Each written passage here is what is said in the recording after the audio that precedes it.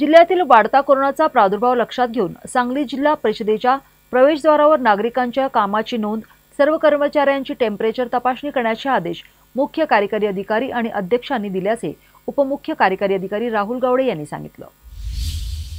सांगली जिल्ह्यातील कोरोनाचा वाढता प्रादुर्भाव लक्षात घेता कोरोना रुग्णांच्या संख्येत झपाट्यानं वाढ होत आहे. या पार्श्वभूमीवर सांगली जिल्हा परिषदेच्या प्रवेशद्वारावर महत्त्वाच्या कामाव्यतिरिक्त अन्य सामान्यांना प्रवेश बंद करण्यात आला आहे.